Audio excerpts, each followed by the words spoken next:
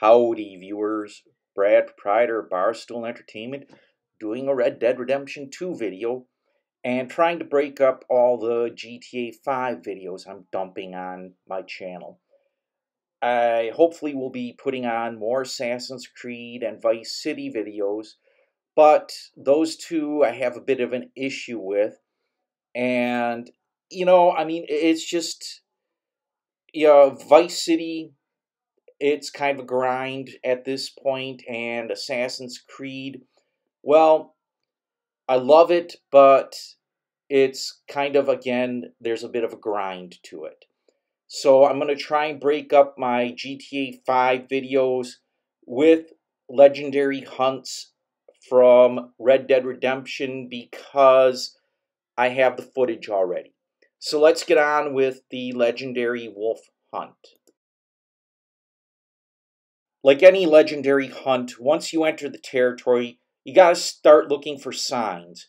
And, you know, the glowing yellow dots above whatever it is dung, broken sticks, fur, dead animal now you know. And you keep following tracks until you find the legendary animal and shoot it down. So let's get on to the next sign that we're looking for here.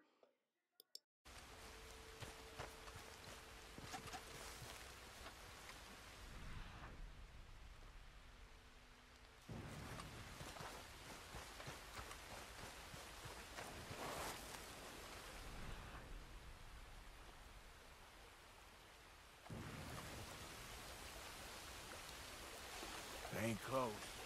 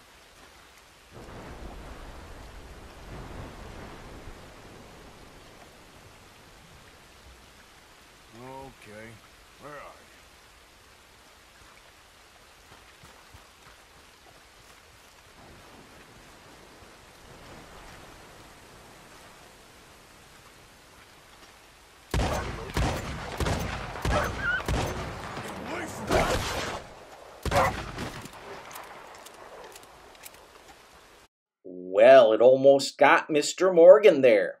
So there is the customary skinning of the animal here. And then you take legendary pelt to the trapper to make something of it.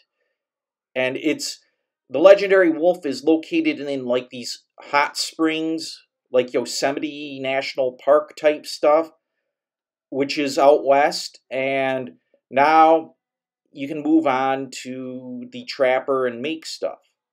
If you found this video interesting and informative, hit the like button, the thumbs up button, and feel free to leave a comment. If you like this type of video, I post four videos a week based on video games. And if you don't want to miss out, hit the subscribe button and bell icon, and you will not miss out on those videos. I'm Brad, proprietor of Barstool Entertainment. Thank you for watching. Thank you for subscribing.